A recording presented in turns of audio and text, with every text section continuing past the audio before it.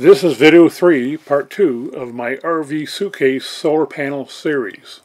In video 3 part 1, I discussed options for locating the charge controller and the reasoning behind those options. In part 2, which is the video you're watching, I will actually install the charge controller. If you've not watched video 3 part 1, I will provide a link to that video here. In order to demonstrate the different hookups for the solar controller, I had to buy some cable. This is 25 foot cable of what is called SJOOW, which is a type designator for cable. SJO basically means it's 300 volt cable, and this is just a standard uh, extension cord type cable, but it's heavy duty. And OW means that it's water resistant. Since it's intended for up to 300 volts, it has black and white, and I marked the white lead with red. This is available by the foot, and it's only two conductors, 25 foot, and I'll post a link to where I bought this on my website. And I'm not an affiliate with them, so I don't get any money from them. It's just a place that has a good selection of wire. And I've already put the solar ends on one end, and I'm going to do it just to demonstrate how it's done on the other end. And when you buy these field installable MC4 connectors, you get a male connector with a gland and a cap.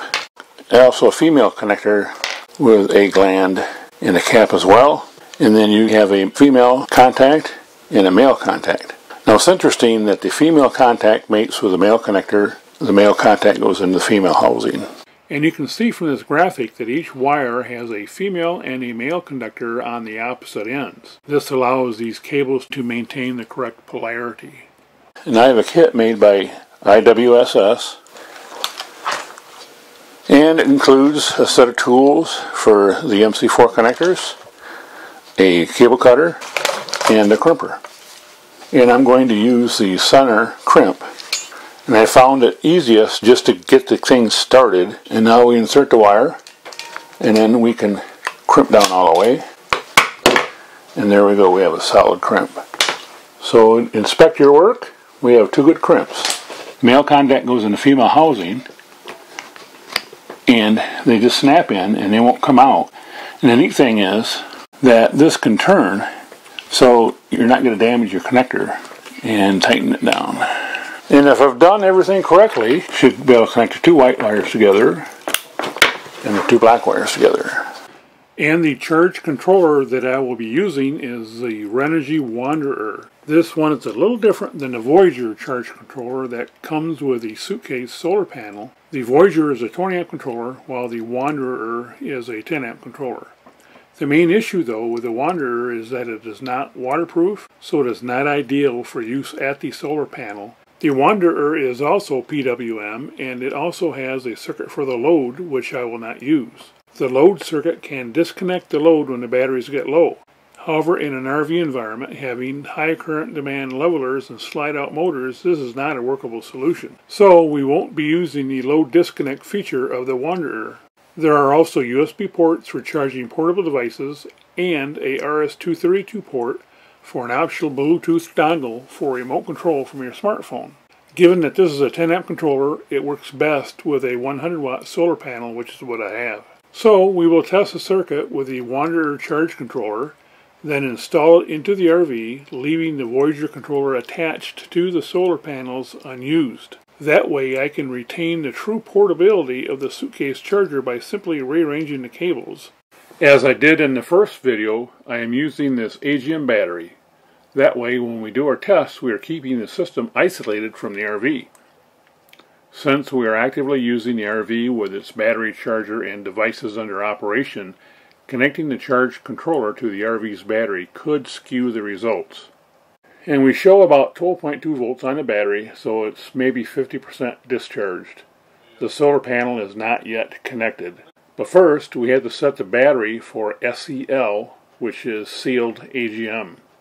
The display must be in battery volts to change the battery type. Flooded, which is lead acid, sealed, and gel. We will select SEL, sealed, for our AGM battery. For this first test, I have disconnected the Voyager charge controller at the solar panel. Next, I connected the Wanderer charge controller to the solar panel, replacing the Voyager. We will be comparing the operation of the Wanderer charge controller at both the solar panel and at the battery. And we will use the 25 foot cable we just made between the solar panel and battery to measure what voltage drop occurs across that cable. When we connect to the battery, we measure 14.2 volts for the battery connection at the charge controller.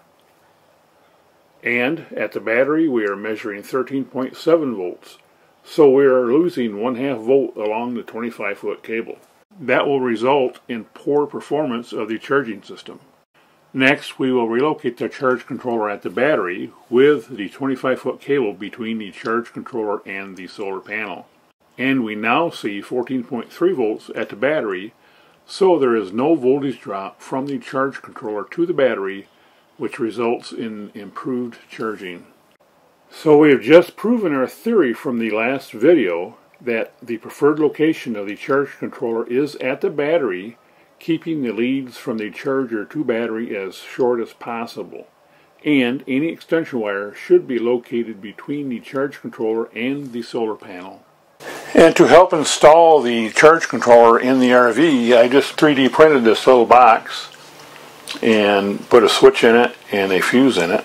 And if you don't have a 3D printer, you can just find any kind of box, you know, and put a switch in it.